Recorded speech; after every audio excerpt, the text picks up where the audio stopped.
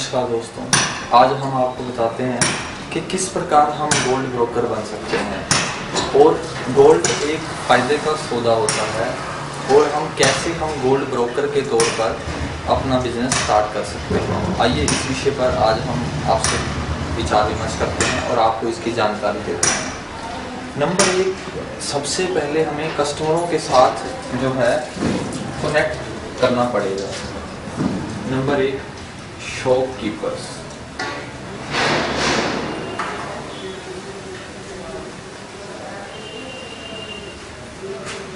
Number دو جس پرکار ہم شاپ کیپر سے زیادہ سے زیادہ ان کے ساتھ بات چیت کریں گے اتنا ہی ہمارا کسٹمر ڈاٹا انکریز ہوگا اور ہماری جو لو انٹرسٹ پر بھی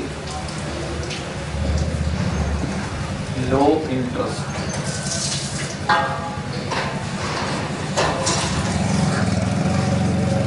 ایک بروکر بننے کے لیے ہمیں ہم جو شاپ کیپر سے زیادہ سے زیادہ بات چیت کریں گے تو ہمارا جو کسٹمر ڈاٹا ہے وہ انکریز ہوگا۔ اس کے ساتھ ہی اگر ہم کسی کی مدد کر رہے ہیں، اس کو لو انٹرسٹ پر ہم بیاج دے کر بھی ایک اچھے بروکر بن سکتے ہیں۔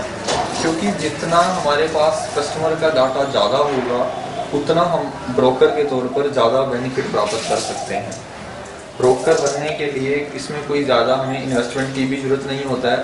جتنا لنک زیادہ ہوگا کسٹمر سے، اتنا ہی ہمیں فائدہ زیادہ ہوگا۔ دھنیہ واد دوستوں